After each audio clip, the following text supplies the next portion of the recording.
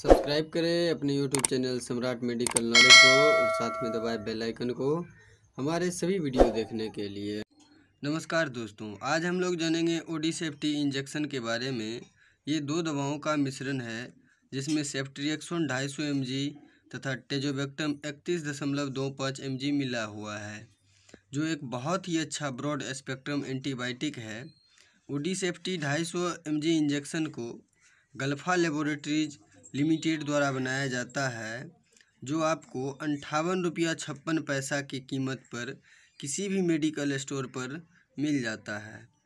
इस वीडियो के माध्यम से जानेंगे ओडी सेफ्टी ढाई सौ एम इंजेक्शन का उपयोग कौन कौन से बीमारी को ठीक करने के लिए किया जाता है, किस रूट से दिया जाता है, कितनी मात्रा में दिया जाता है, इस इंजेक्शन को लगाने के बाद क्या क्या दुष्प्रभाव हो सकता है तथा ओडी सेफ्टी ढाई सौ एम इंजेक्शन को लगाने के दौरान और कौन कौन सी दवाएँ नहीं लेना चाहिए, इन सारी जानकारी के लिए बने रहिए हमारे साथ।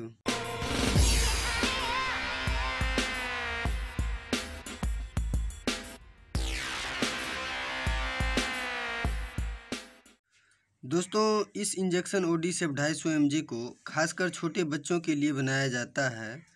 इसका उपयोग बच्चों में होने वाला सामान्य सर्दी जुकाम को ठीक करने के लिए किया जाता है। जब बच्चे को सर्दी जुकाम के साथ बुखार आ जाता है, सर में दर्द करता है, इस इस परेशानी को ख़त्म करने के लिए एंटीबायोटिक के तौर पर ओडीसेफ टी ढाई सौ एम इंजेक्शन को डॉक्टर द्वारा प्रिस्क्राइब किया जाता है। डायरिया में भी ओडीसेफ टी इंजेक्शन का उपयोग किया जाता है। जब बच्चे को लूज मोशन हो जाता है तो उसे दिन में कई बार पखाना होता है। ये अक्सर छोटे बच्चों में टीथिंग के दौरान होता है। जब बच्चे को दांत आने का, आने लगता है तो दस्त के साथ उल्टी भी होता है। इसका उपयोग छोटे बच्चों में गम, होने वाला गंभीर समस्या, निमोनिया में भी किया जाता है।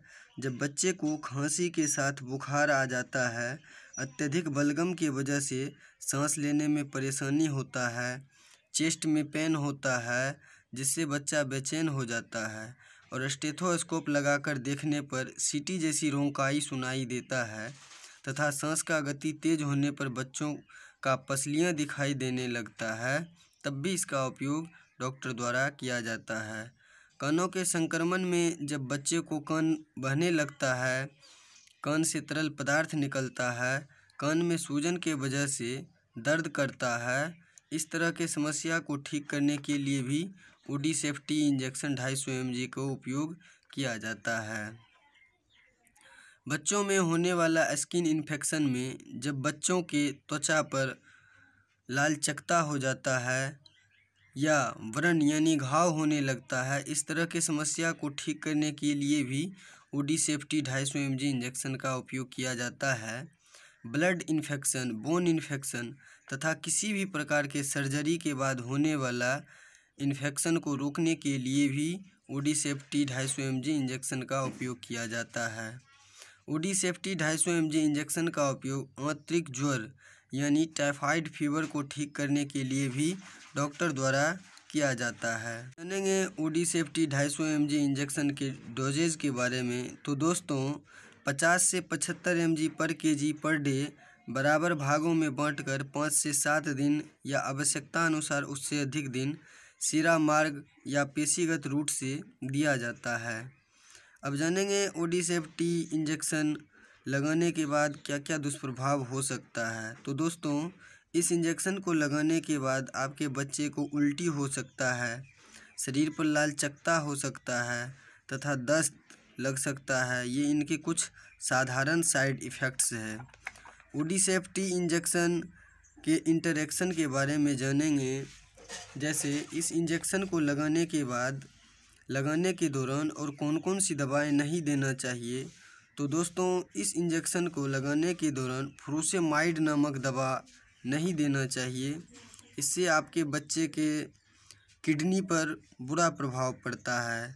साथ ही एजिथ्रोमाइसिन नामक दवा भी नहीं देना चाहिए, जैसे एजिथ्रल सस्पेंसन एजिवेंट सस्पेंसन एजिवेक्ट एल आर सस्पेंसन इन सारी दवाओं को ओडी सेफ्टी इंजेक्शन लगवाने के दौरान नहीं देना चाहिए। इससे आपके बच्चे के हृदय पर बहुत बुरा दुष्प्रभाव पड़ सकता है।